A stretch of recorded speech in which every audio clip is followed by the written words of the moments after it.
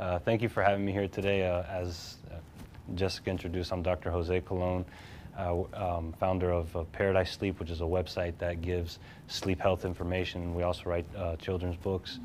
And um, I, it's interesting how I found my, my path through sleep and through stress management, and I find the story to be interesting.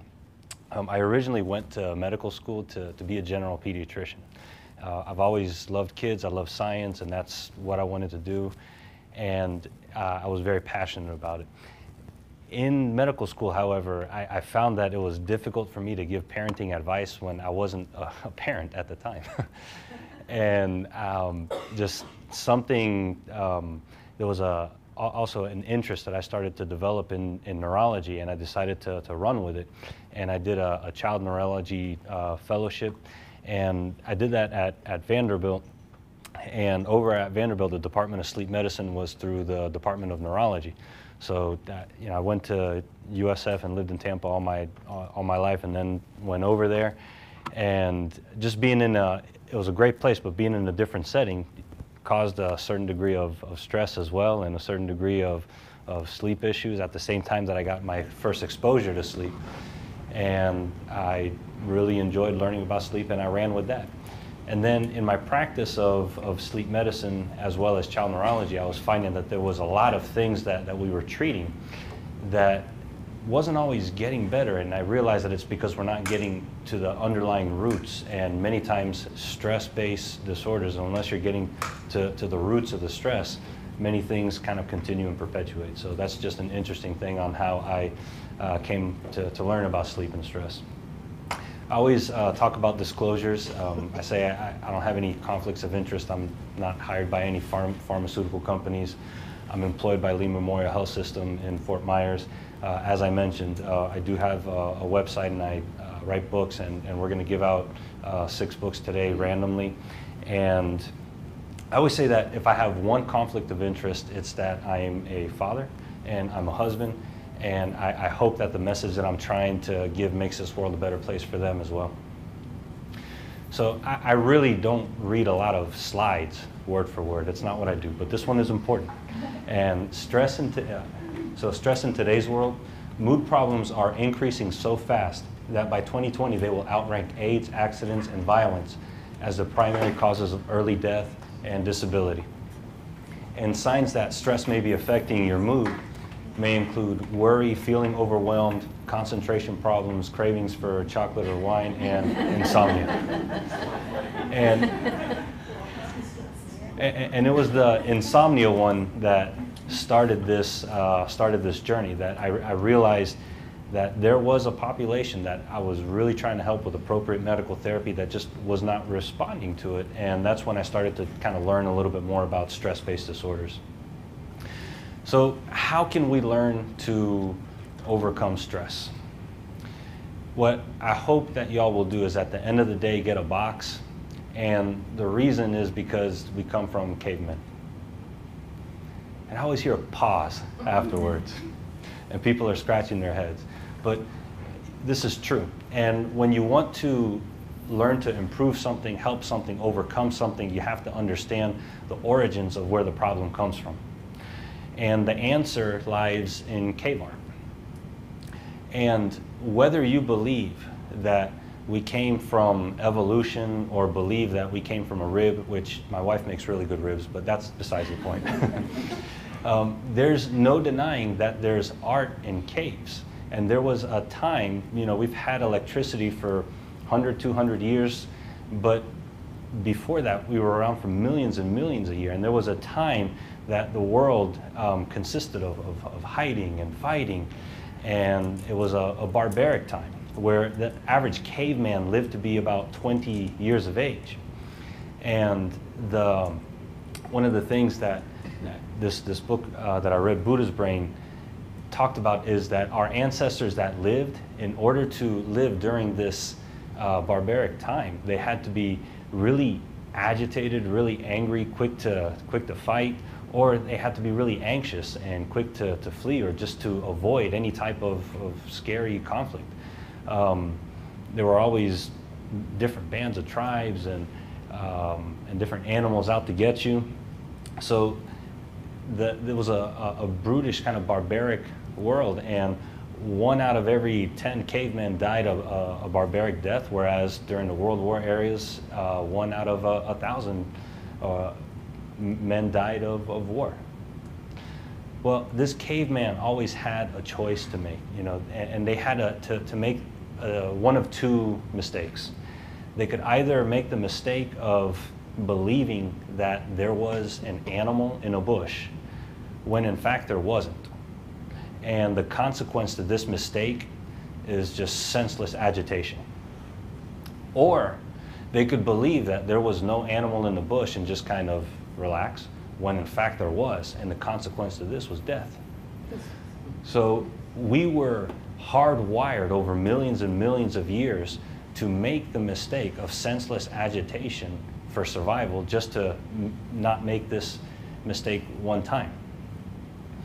And understanding that our, our brain is very good at learning and absorbing bad experiences and not as good as learning from, from good experiences. Um, the news industry understands this, and that's why uh, the majority of, of the news starts off with the latest homicide or tragedy, is because they have a saying that says if it bleeds, it leads. They know that our brain has a tendency towards negativity, kind of like uh, Velcro, but many of the positive stuff just kind of slide off, kind of like um, a Teflon pan, a nonstick pan. You know, interesting. One day, my son, when he was five, and I was taking him home from VPK on the way home, he goes, "Dad, when we go home, can we watch the news?" And I told him, "No, son, the news is too violent. We're going to watch Power Rangers instead." so, understanding that um, our, our brain has this tendency towards negativity um, we have to, you know, if we take a look at our, our brain and see that the, the soil of our brain has more, um, is more fertile for weeds of negativity than they are for flowers of positivity, we can approach our brain in one of three ways. One thing we can do is just leave it alone and accept it. And if we do that, we have to understand that weeds of negativity are just going to outgrow that. Another thing that we can do is uh, pull some weeds, you know, so we can pull weeds of negativity. Well, you know, you can't always go back and change life experiences, but you can uh, make sense of things that happen. You can reduce the amount of negativity that's around us. Uh, we can choose to hang out with, with positive people. I always say that, um, I give two examples. You know, Winnie the Pooh, he has a choice. He can have lunch with Eeyore or Tigger. And Smurfette, I mean, she could choose to, to date Grouchy or, or Hefty. Now, I'm not saying that, that Grouchy and, and, and Eeyore don't need friends, but we don't also have to uh, absorb and internalize their, their negativity as well. Another option that we can do is that we can learn to, to build flowers of positivity, and we'll talk about a couple of these today. So I always say, let good feelings ease you to sleep. And, and before you go to sleep, we have a tendency to reverberate. Whatever the last thing that you think about just kind of reverberates in our mind, and make uh, an emphasis to think of something positive before you go to sleep we have a natural tendency towards the other. Let's say 10 great things happen to you, but one bad thing happened. What do we have a tendency to bring to us? that negative. I see a lot of heads nodding. Yeah, the negative.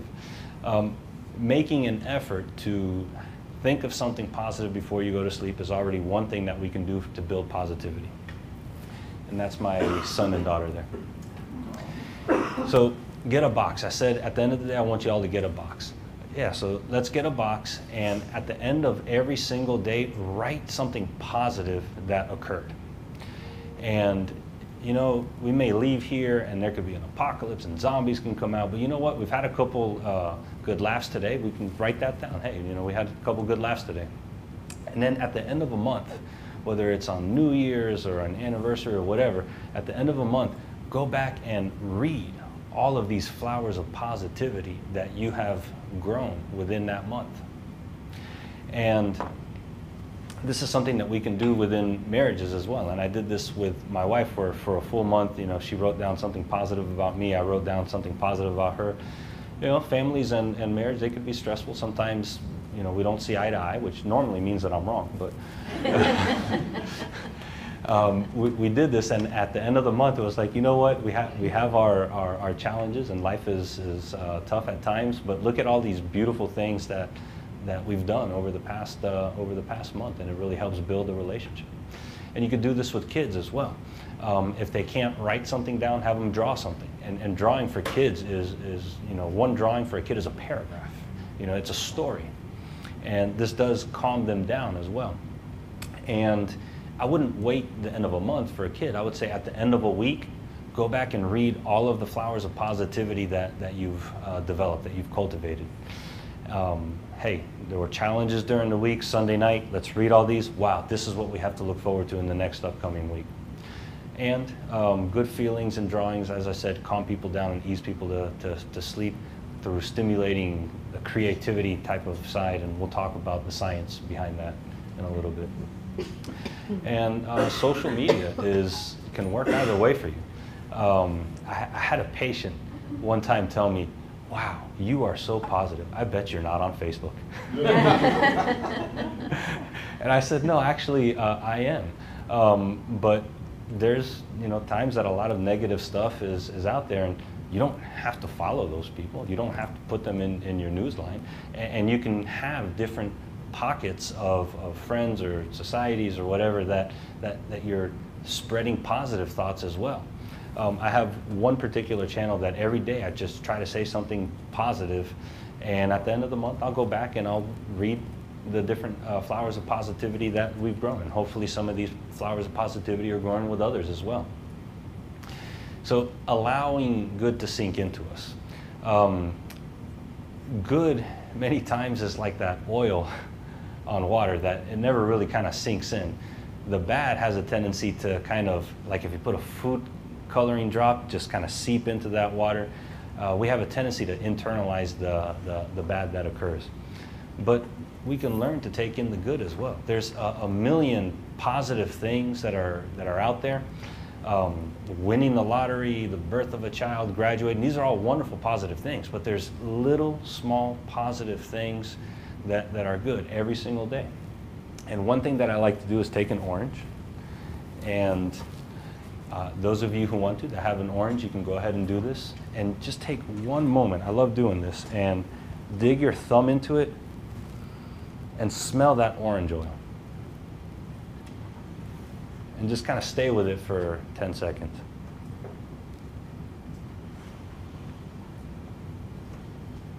How many times do we grab an orange and just consume it and, and, and not smell that?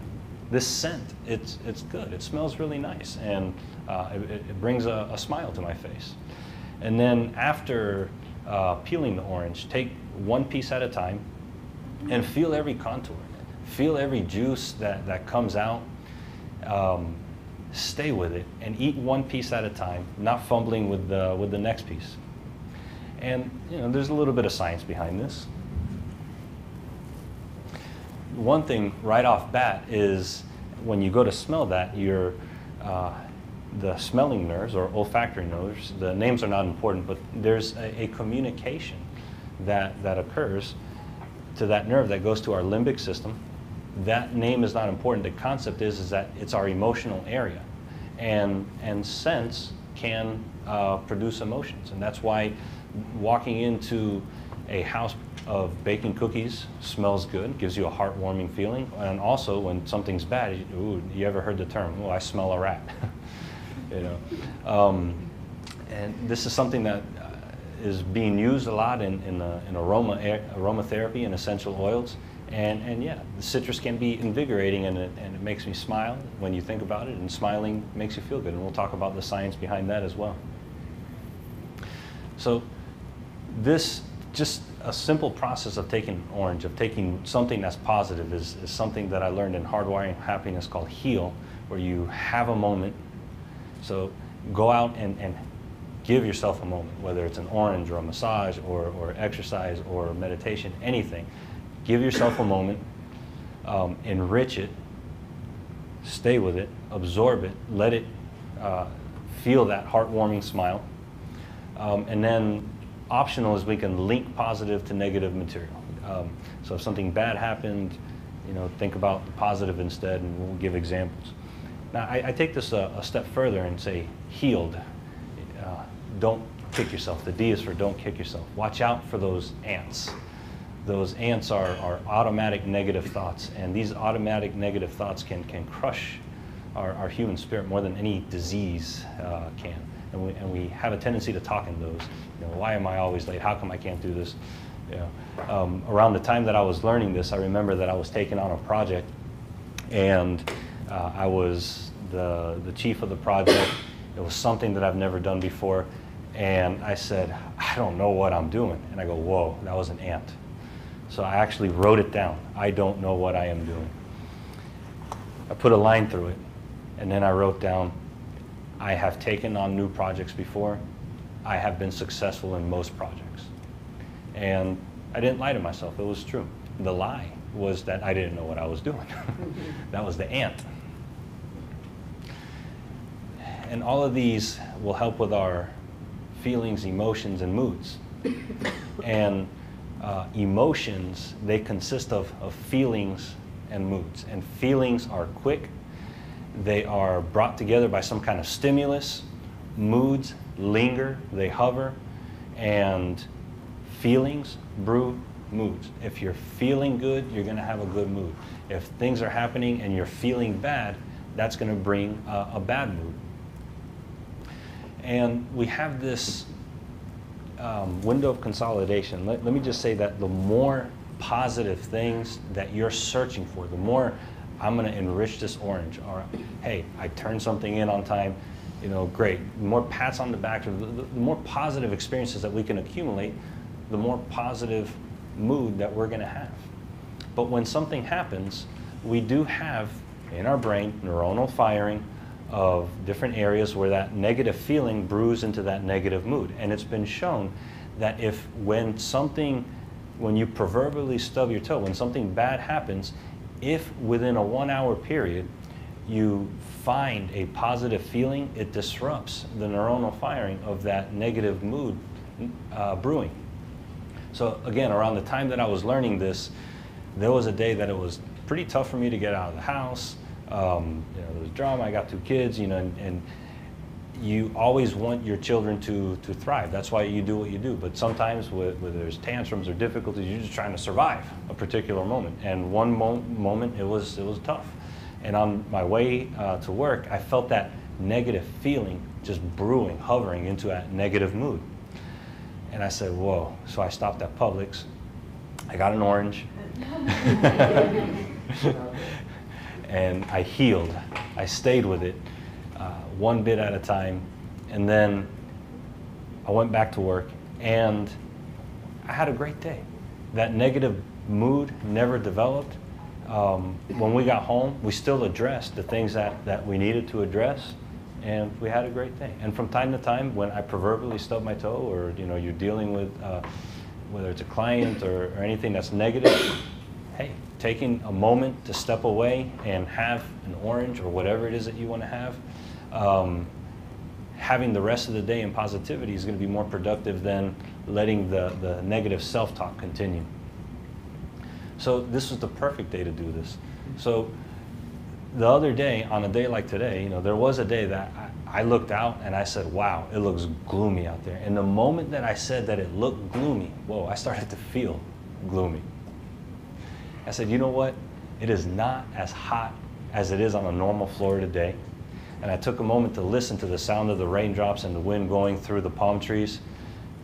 And you know, you just try to find a ray of positivity in every day. And when you do this, you're not choosing to live life looking through rose tint tinted glasses. You're just choosing not to look at them through our smudge tinted crack glasses that we have a tendency to look at them through. So how else can we learn to overcome stress? Let's bring out our inner child. Everyone's got bubbles. And let's go ahead and take the bubbles out and let's blow on them 10 times.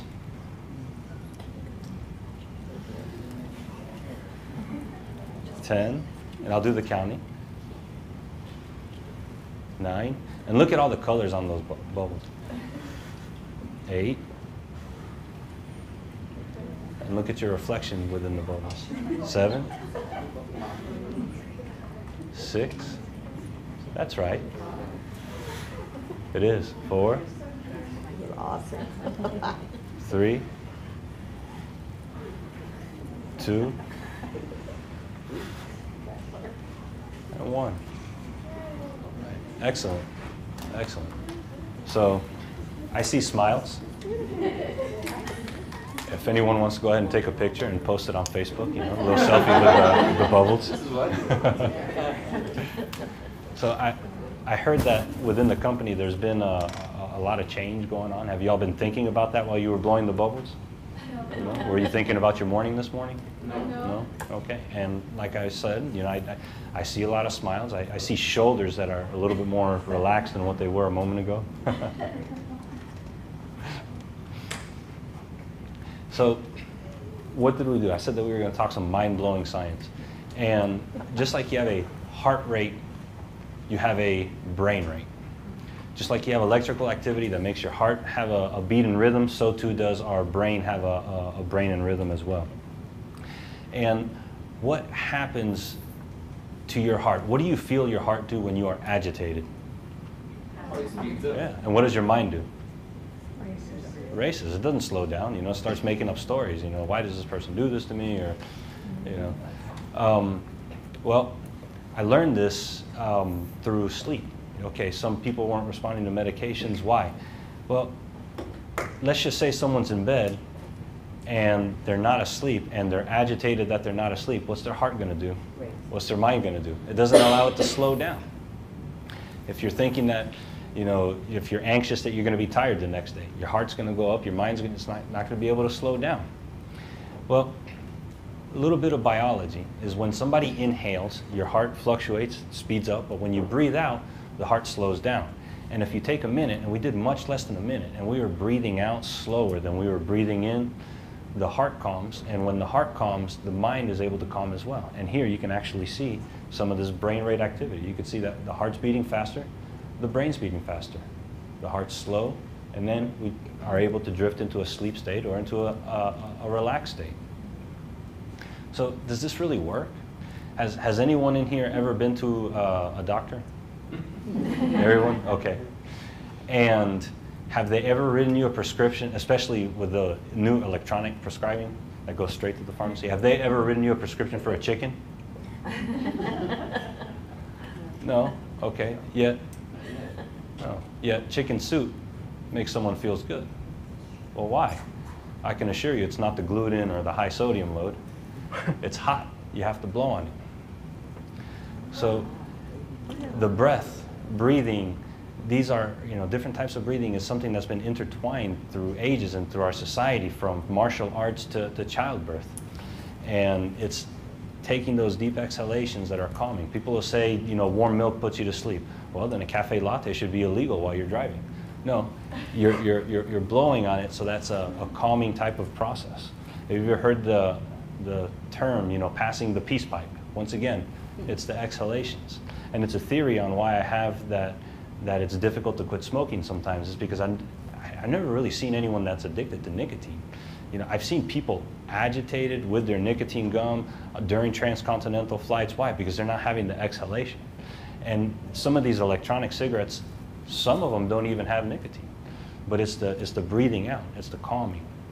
So again, that's one of the theories that I have on why it's difficult to quit smoking, and because it's my theory, I know it's correct. but this is the, the, the, foundation of, of yogic breathing, mindful breathing, uh, slow breathing during uh, meditation. Now, another thing is that I told you to take a look at, at the colors. And when you do that, you see this halo within a halo within a halo.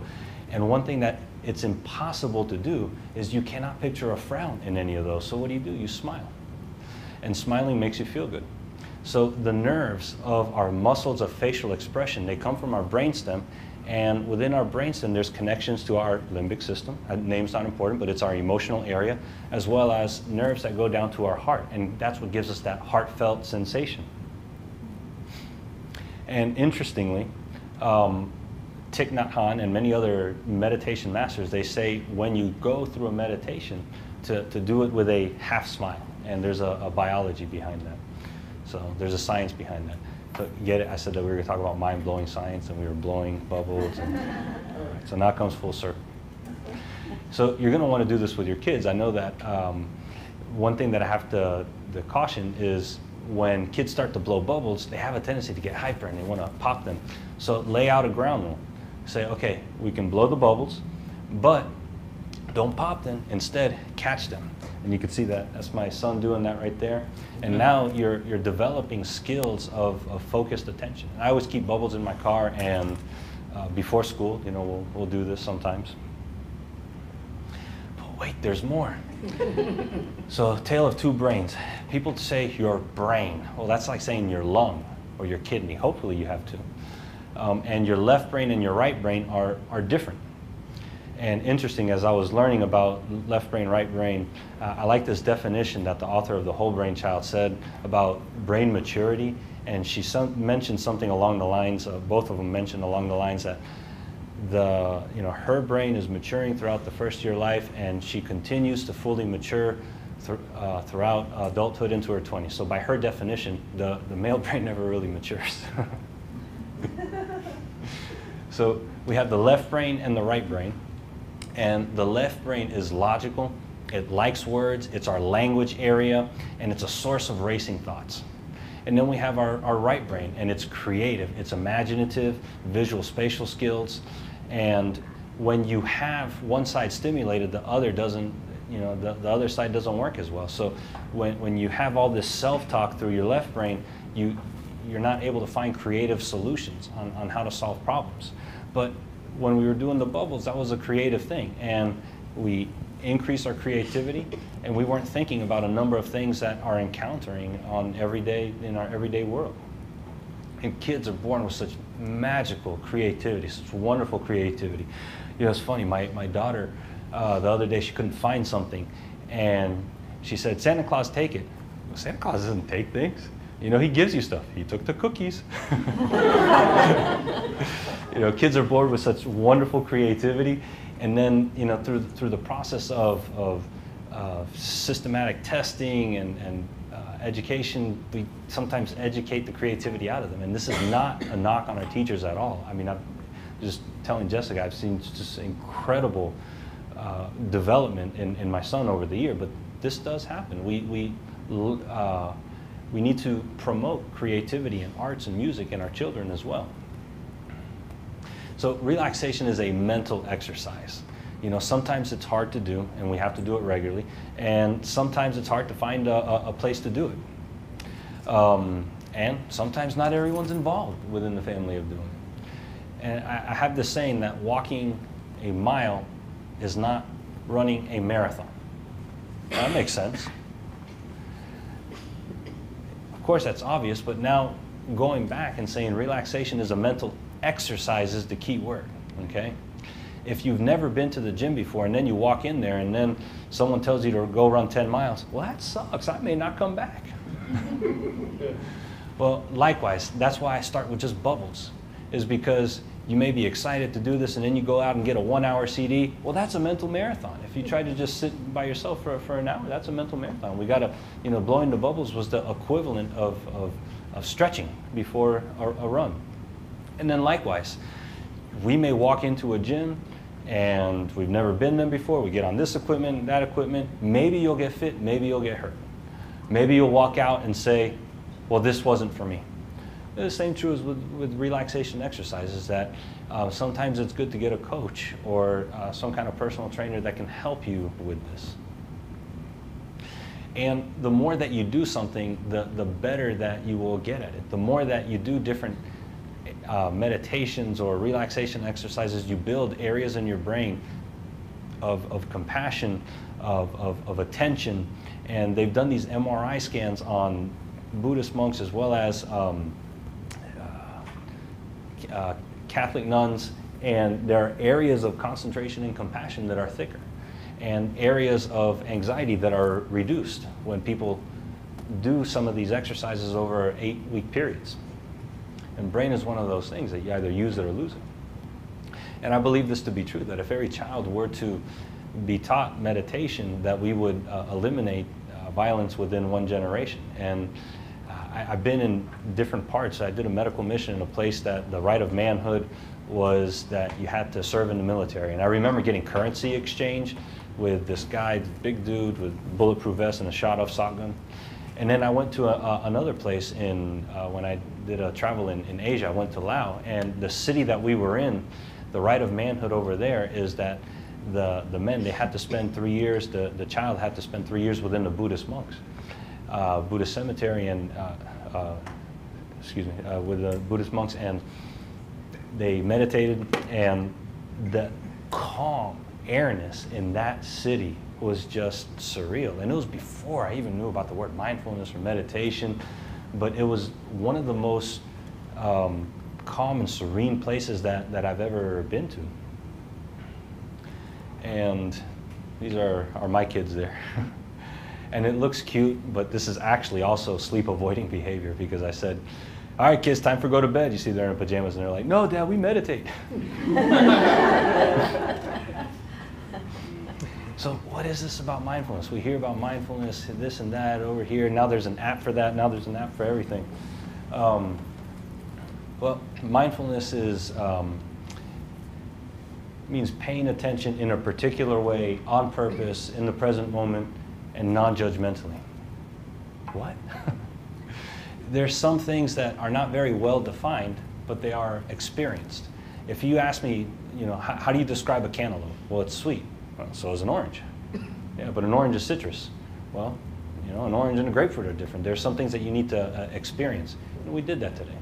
We did that with the with with the with the bu bubbles. You know, we were mindful. That was a mindfulness of the bubbles.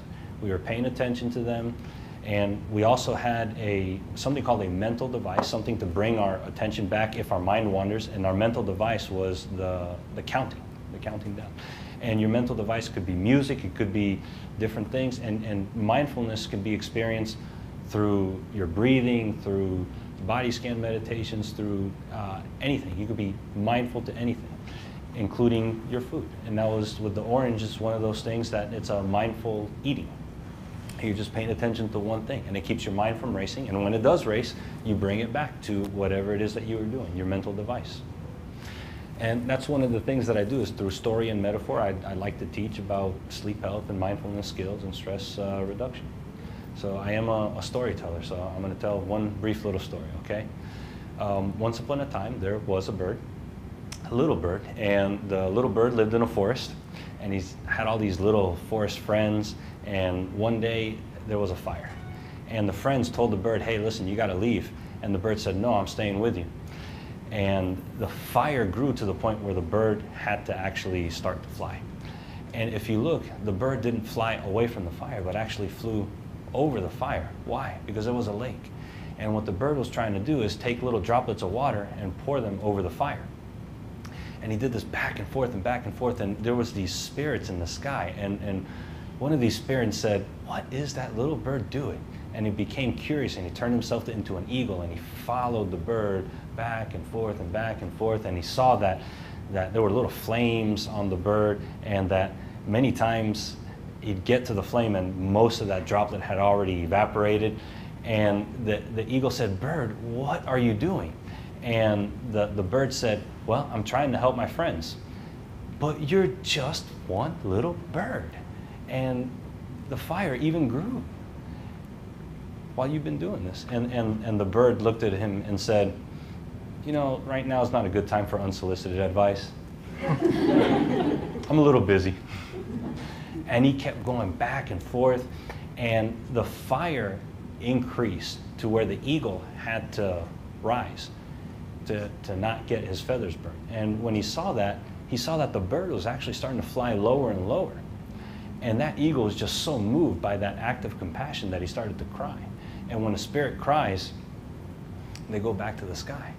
And both of the spirits cried and put a, uh, a rain over the forest, and the fire just uh, evaporated. Well, we all feel the flames of stress. You feel them, uh, we feel them. The people that we help many times are, are, are feeling them. And guess what? They have birds and, and, and family of their own. They have people within their forest that, that they're trying to help out as well. And that was one of these things that, that, you know, kind of an aha moment when I was reading this book called Polyvagal Theory again, I'm a sleep specialist, and this book is not about insomnia. However, I was so surprised about how many disorders of chronic stress so many people had the symptoms of insomnia. Even though the book was not about insomnia, every other patient that they were describing there had that. Well, when we're in stress, our body adapts to survive and our adrenal glands secrete cortisol. And when cortisol is secreted, that actually uh, stimulates our amygdala. The name is not important. The concept is that our amygdala is our fear area. So it stimulates them and it makes us scan for more uh, threats, for more tigers in a bush that aren't there. And when that happens, um, we get this stress response. And sometimes we end up uh, sleep deprived. And when we're sleep deprived, we even get more cortisol being secreted. And this is, uh, in, in mindfulness-based stress reduction, this is something that, they, that we talk about, is that we have all of these external events and internal stressors that, that affect our, our mind, body. Um, we get into this fight or flight, and we get into this automatic, uh, just automatic modes of, of survival and stress, hyper arousal. Um, and then we internalize some of that stress. Then we have maladaptive coping behaviors. You know, we just work harder, we work through it, um, or we stress eat. Um, and then we break down. And all of this constantly is this cycle that just kind of uh, affects our, our mind and body as well. And uh, again, you know, this is not an insomnia lecture, but this is how I learned about it, is there was a day that I realized, you know what? Insomnia is not a night disorder. There are things that happen all day long that lead to our racing thoughts or that lead to the stress that, that lead to difficulty sleeping. So insomnia is a 24-hour disorder, but it's not just insomnia. Many other diseases and disorders, uh, stress is a 24-hour disorder. You know, sleep and stress is like oil and water, they don't mix. Um, and think about it, everyone who I know has had a dream that they're falling and then they wake up. I've never met anybody who finished a dream where they fell, they cracked their head, there's blood, oh, now I gotta go to the ER and the snowbirds are here, so I gotta wait. No, they wake up and they're like, oh, it was just a dream. So how else can we learn to overcome stress? And as I was learning this, I learned about a lot of different techniques that have been validated in stress reduction, from diaphragmatic breathing, meditation, guided imagery, biofeedback. We, we talked about some of these today, and I just want to talk about one more, diaphragmatic breathing. And normally when we breathe, we have a tendency to do what we call chest breathing, where we're just expanding our, our, our kind of chest and you can feel the, the hinges of, of our ribs kind of move. But in, in diaphragmatic breathing or, or belly breathing, what you do is that as you breathe in, you make your stomach come out, and then exhaling, it comes down. And when you're doing that, you can see the belly's moving. That's why they call it belly breathing. Well, we already talked about the science about the inhalation and exhalation and how it activates the parasympathetic response, which is our, our, our stress reduction response. Um, but you know, one of the things that we mentioned is that there were a lot of mood disorders, you know, and in, by 2020, it's going to overtake many uh, disabilities. Many times when we have mood disorders, we have less serotonin in our brain. That antidepressants, they increase our serotonin. And I'm not calling them mind altering. No, they work, and this is how they work. They increase our serotonin. Now, 10% of our serotonin in our body is in our brain. The other 90% is in our gut. And think about it. You know, if someone's feeling stressed or they're feeling down, what do they do? They'll eat a tub of ice cream. Until what? Until they're full. They were never hungry. No, until the stomach distends. And, and then we get this distension, leads to more serotonin release that can come to our head and we feel happy. Well, it's been shown that if you're doing diaphragmatic breathing over an eight week basis and you're doing it on a regular basis, that it decreases anxiety scores, that it improves mood and improves sleep as well. So in this situation, the diaphragmatic breathing is kind of like, uh, and other stress responses as well. It's kind of like the lake that helps put uh, uh, flames over the fire. So who's in your force? You know, we're, we're all um, taking care of, of people, and, and this is who's in my force, and I'm not going to stand in this modern society and let flames of negativity uh, go over the forest that, because this is who is in my force, my family. And why would I, you know, include stories into a scientific lecture? Well, because I thought that it really had a good representation of the stress response, flames of stress, and, and the cortisol. And the other thing is that it's about compassion. When we show compassion, many disorders also start to uh, improve. Um, another thing is, if you remember, that bird didn't go away. You know, the, everyone was saying, hey, go this way. And the bird was like, no, I'm going this way. Where'd he go? He went to the lake. He went to nature. Wow. For nature to, to, to heal. Isn't that a novel concept? and that's what a, a lot of us are, are trying to do in, in talking about wellness, is letting nature kind of heal our body. And many people will think that we're out on the fringe, kind of like that little bird going the, the opposite way. Well, that bird wasn't on the fringe. That bird went into a, a different frontier. And it's a, it's a new frontier that many of us are doing. And you know, uh, sometimes we're called the nuts and berries person of the, of the family. Um, or, or maybe you all are that as well. Maybe you're organic or paleo or vegan, but we're all doing the, the same thing. We're all trying to uh, allow nature to, to heal ourselves. And we're in this frontier, in this health revolution. And who is it that, that starts revolution? Who succeeds revolutions? Um, it's not those who behave. it's not the quiet. It's those who are able to move the human spirit. And that's what we're trying to do today. So y'all learned a number of things. If, again, zombies come out today and you ruins the rest of your day, hey, remember, write down that you learned five good things.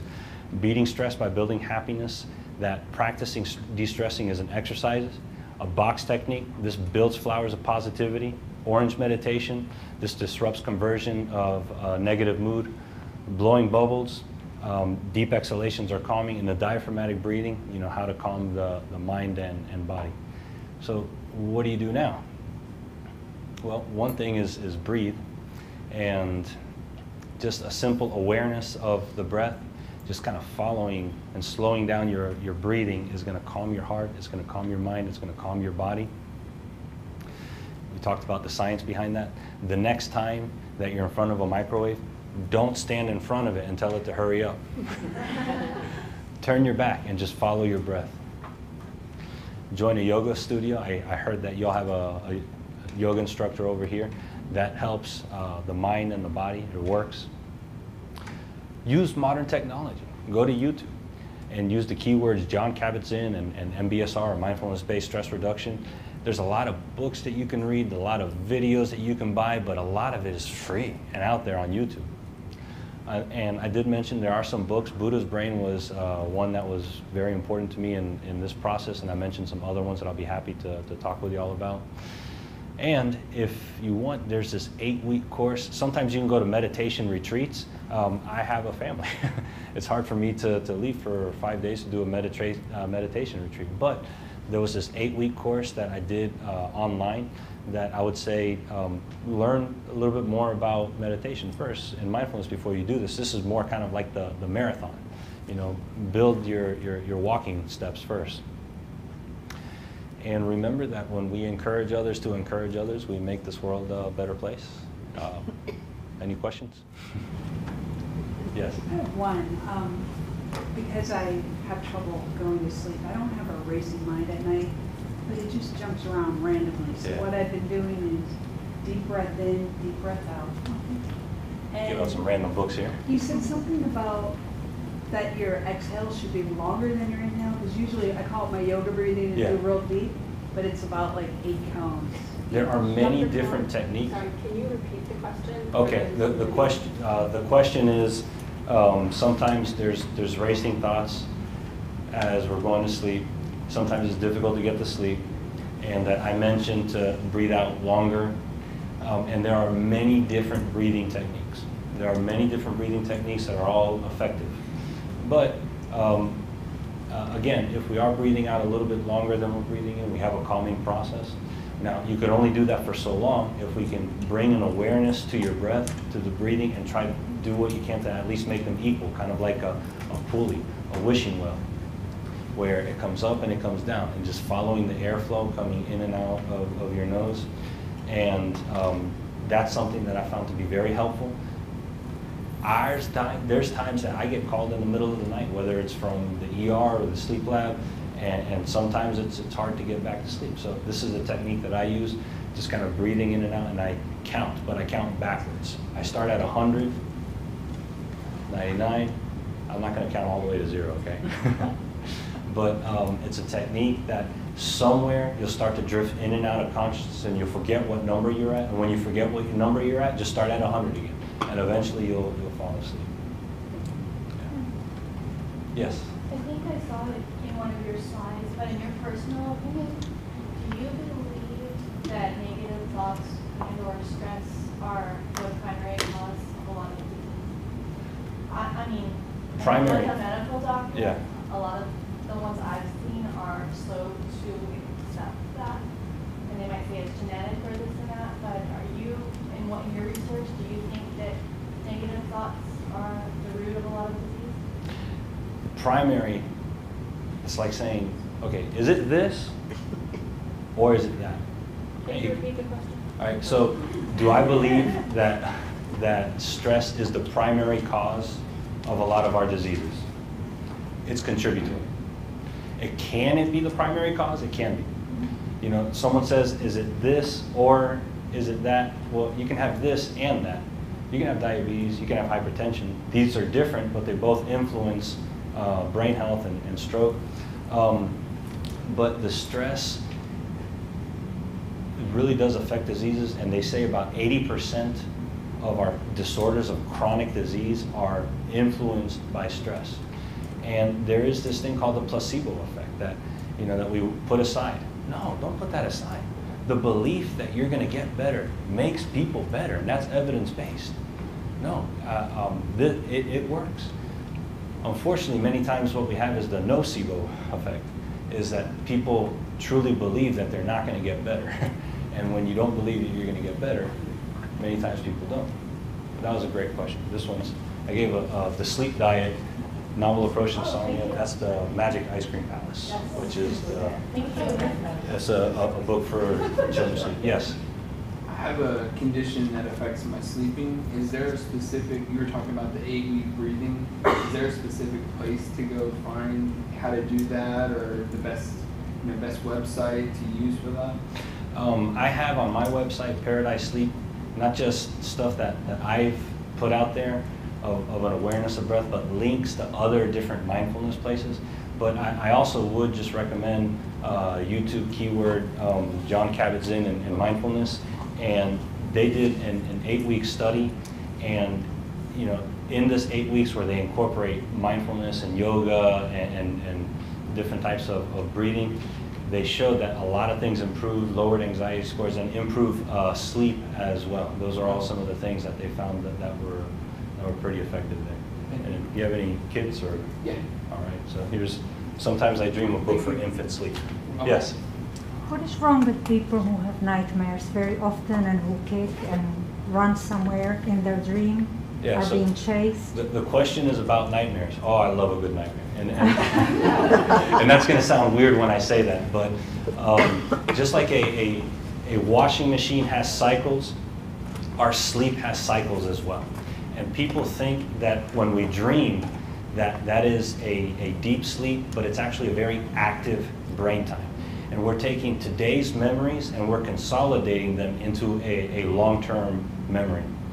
And that is why you may dream of a person you haven't seen in 10 years, or a place, a person that you saw a day ago, or a place that you were in a day ago. So dreams are also associated with emotions. And many times when we are consolidating today's memories, we, it's kind of like going to a storage shed that you have this new book that you're putting into the storage shed, and then you see the table. I haven't seen that table in, in five years. Well, likewise, when your memory area opens up, you will see memories of, of different things that you haven't seen in, in a while. Now, one thing that's really cool is that we can learn to improve our dreams and change our dreams. And that's something called lucid dreaming. And that's actually something that I stumbled upon on, on accident. There was a, a, a night that while I was reading, while I was writing my first book for sleep, there was this night that I couldn't sleep and I was frustrated and I was hitting my hand and I was tossing and turning and I was looking at the clock, everything that I tell people, my patients not to do. And then I started putting uh, the timer on both of my alarm clocks and that is when I realized that I was dreaming because I only have one alarm clock. Mm-hmm. I was I spent so much time writing this book about insomnia that I started dreaming that I had insomnia. and then what happened after that is I started to learn a little bit more about this, and I realized that there is a world out there that, that people can influence their dreams and change their dreams. And now, when I realize that I am dreaming, I can, you know, I can change it. And you feel all these different sensations that occur during our dream sleep. But that's why I said I, I, I love a, a good nightmare. But that was a, a a great question. Here's uh, the sleep diet. Thank you. Yes. You can go first. How do you get a kid to meditate? Like I have a four-year-old. I'm just curious because you said the meditation thing, and I have a four-year-old, and I think that would be really great for her and myself. But you know, their attention is very short. Yeah. So how do you start it? How, how do you get a kid to tie their shoes? How do you get them to color within the lines? You I know, don't ba- know. ba- baby So steps. you know, honestly, it's, it's all it's all baby steps. Um, and uh, what I do with some of my patients is that I give them a, a yo-yo, and I go into my bag and I go, here, here's your, here's your yo-yo. I ask them what color is it, and they'll tell the color, and I will take that yo-yo and put it on their belly button. Now, I don't literally give them a yo-yo. I'm doing exactly what I do in the clinic, and I'll say, okay, now as you breathe in, your belly button comes up, and then it comes down. Up, two, three, four, down, two, three. What are we doing? Playing through imagination. We're doing yo-yo breathing, and uh, we're, we're working at, at, at- at their level. Kids have wonderful imagination, and that's what we can do. We start with that. I put on my daughter every night before we go to bed a little stuffed animal on her belly. Okay, as you breathe in, up, two, three, four, down, two, three, four. The other thing is, have, have, have you ever, as your kid was really young, um, did you teach her how to use the phone before one day she picked up a phone and just imagined and goes, hello? My situation is a little different, so Oh. no, I haven't t- taught her how And- to and do that. have you- I've only had it for three Have months. you ever seen a so- kid pick up a phone and just say, hello? Right. Yeah, so that's mirroring.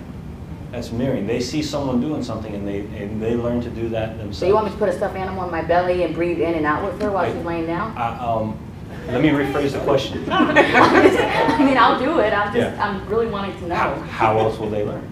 It's, it's through mirroring. Right. Yeah, so um, I, I do uh, normal meditation practice, and there are times that I make it a point and an emphasis to do it when I know that they're going to be coming down. So now they've, they've seen it. And um, when they go to do it, they'll emulate that. And you know, before I even told my son how to do it, there was a day that he would just kind of, what are you doing? I'm meditating. He'll get on the tree and, and do it. Now, a rule, a general rule that I have is don't make a kid do something more than their age. So I don't, I never have my son meditate more for more than six minutes.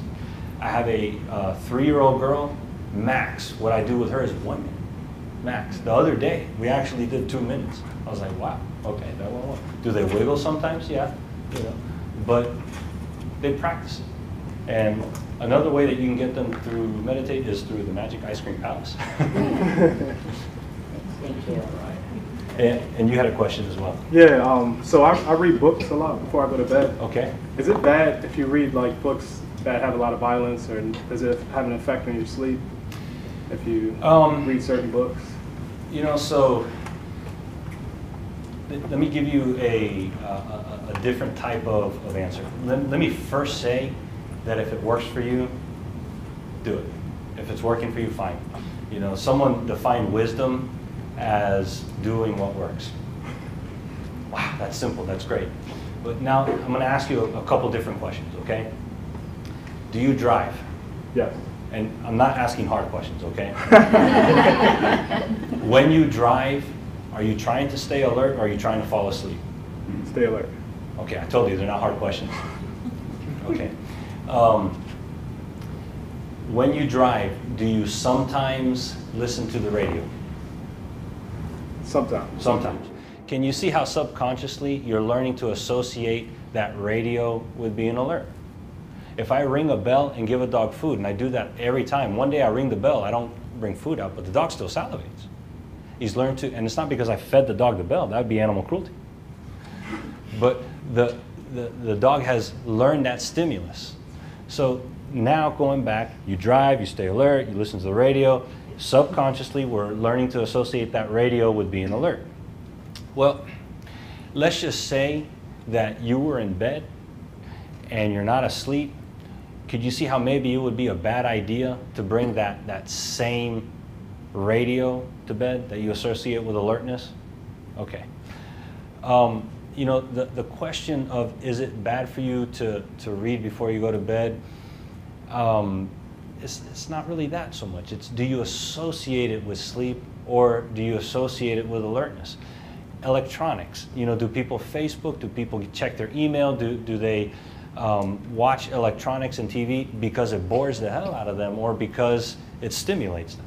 If it's stimulating, then don't do it. If it's working for you, okay. Now, I, you know, I, I just mentioned all of these things not to do, you know, electronics.